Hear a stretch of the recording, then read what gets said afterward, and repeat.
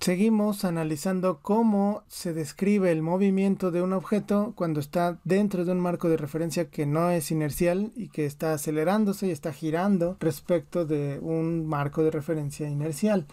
Vamos a poner aquí dos marcos de referencia. Vamos a poner uno que sea inercial y este es el marco S0 así que este es el eje X0 este es el eje Y0 y este es el eje Z0 este por ejemplo puede ser el suelo. Y voy a poner un marco de referencia que esté girando y pues vamos a poner aquí un eje aquí otro eje. Estos los voy a llamar el eje X el eje Y y el eje Z. Y es un sistema de referencia ortogonal y además voy a poner un vector que me indique cómo está girando un marco de referencia respecto del otro. Habíamos dicho que vamos a utilizar omega mayúscula para indicar cómo gira un sistema de referencia respecto del otro. Entonces estas tres flechas están girando siguiendo esta flecha como guía, este es mi eh, sentido de giro para que coincida con el sentido de esta flecha.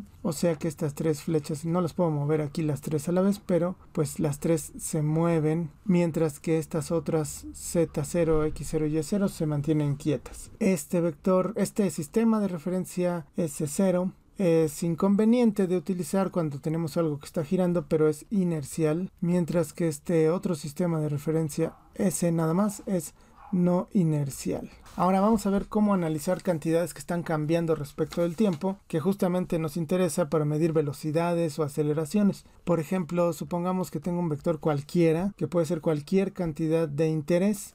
Entonces, pues puedo medir cómo cambia este vector en el tiempo mientras yo estoy sentadito en el suelo sin moverme respecto del sistema inercial, pero cómo se relaciona eso con la misma cantidad pero medida respecto del sistema que se está moviendo, ¿no? Este sistema podría ser un disco que está girando tal vez.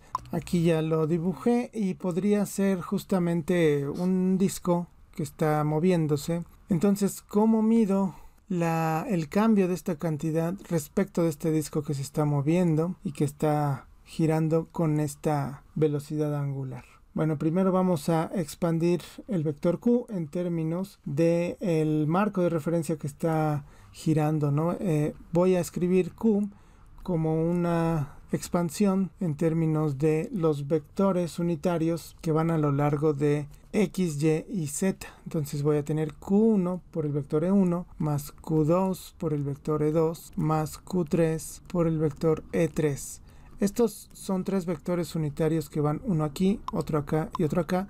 Y en general simplemente se les pone así, ¿no? E1, E2 o E3, o en algunos libros X1, X2, X3, para no estar eh, haciéndonos bolas y también para poder expandir después a más de tres dimensiones. ¿no? Esto también lo puedo escribir como una suma, la suma de 1 a 3 de estos valores, estas componentes de la Q en este sistema que está girando multiplicado por este vector y correspondiente. ¿no? Estos vectores están fijos respecto al disco, respecto al sistema de referencia que está girando y la expansión entonces se puede hacer igualmente válida en ambos marcos de referencia. ¿Por qué? Porque estos vectores entre sí forman también una base. Entonces voy a también poder escribir la derivada de q respecto de t medido desde el sistema que está girando lo puedo escribir como pues la derivada de cada uno de estos o sea en términos de la suma es la suma de las derivadas de q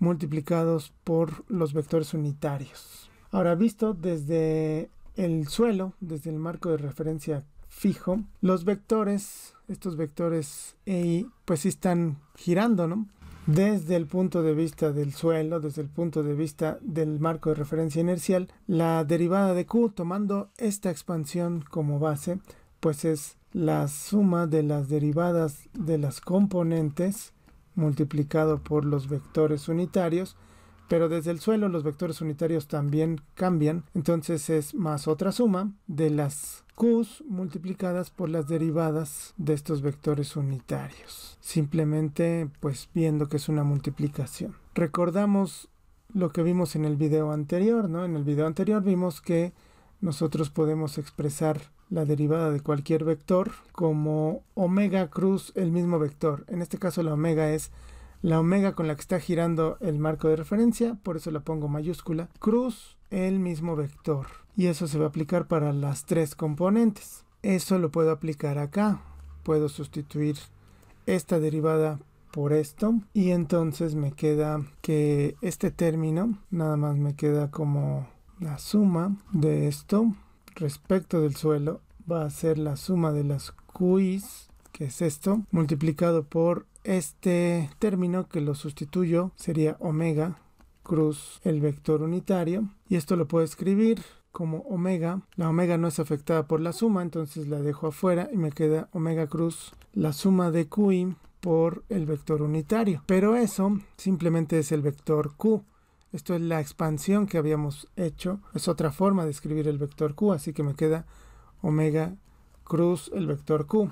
Entonces regreso a esta expresión y me queda que la derivada del vector Q respecto del tiempo medida desde el marco de referencia inercial medida desde el suelo, pues es este término, pero este término es simplemente la derivada de ese vector, nada más que desde el punto de vista del disco que está girando, este término de aquí, más este término que ya vimos a través de esto que vale omega cruz el vector q. Y ahora ya tengo esta expresión. Entonces, para cualquier vector q, ya tengo una forma de medir cómo cambia respecto del tiempo, ya sea desde un punto de vista del marco de referencia inercial o desde un marco de referencia que se está moviendo y está girando y acelerándose. Le tengo que tomar este término extra para hacer el cambio y ahora ya puedo ir de un sistema de referencia a otro.